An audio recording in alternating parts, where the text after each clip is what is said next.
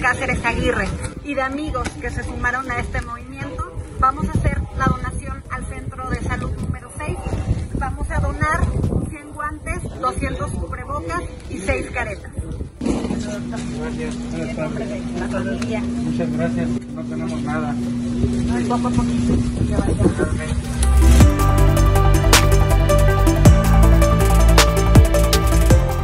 Estamos convencidos y tenemos la certeza y sobre todo la confianza de que juntos saldremos más rápido de todo esto. El Hospital General ha hecho un excelente trabajo para combatir esta situación, pero sin duda necesita manos, necesita apoyo, necesita solidaridad. Gracias.